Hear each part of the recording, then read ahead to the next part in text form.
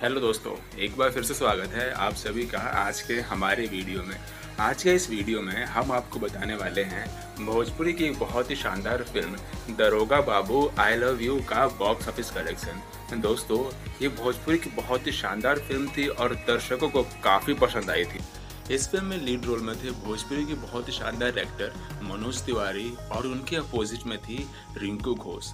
इस फ़िल्म की स्टोरी एक एक आदमी की है जो कि अपने गाँव का पहले पुलिस ऑफिसर होता है और उसका सपना होता है कि अपने गाँव का नाम रोशन करे। किस तरह से वो दुश्मनों से भिड़ता है, किस तरह से वो करप्शन के अगेंस्ट लड़ता है और किस तरह से उसके भाई की किडनैपिंग हो जाती है, यही सब है इसकी कहानी। दर्शकों ने इस फ़िल्म को बहुत ज़्यादा प्यार दिया था। इस फ़िल्म को डायरेक्ट किया था बाली ने, जो कि इससे पहले मनोज तिवारी को धरती पुत्र में डायरेक्ट कर चुके थे। जो कलेक्शन हम आपको बताएँगे, वो ना सिर्फ़ यूपी, बिहार और झारखंड का होगा, बल्कि ऑल ओवर द इंडिया बल्कि all over the India plus Nepal के थिएटर्स का भी होगा। तो चलिए शुरू करते हैं आज का हमारे ये box office show Bhojpuri film Daroga Babu I love you का first day box office collection नौ लाख रुपए था। फ़िल्म का फ़र्स्ट वीकेंड कलेक्शन तैंतीस लाख रुपए था। फ़िल्म का first week collection 83 lakh rupees था।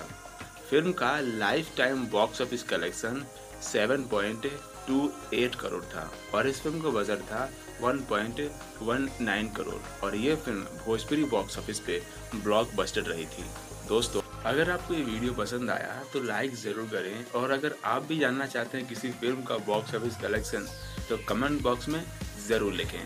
थैंक्स फॉर वॉचिंग मिलते हैं किसी और फ़िल्म के बॉक्स ऑफ़िस कलेक्शन के साथ। जब तक ये देखते रहिए और बने रहिए एंटरटेनमेंट फॉर यू के साथ।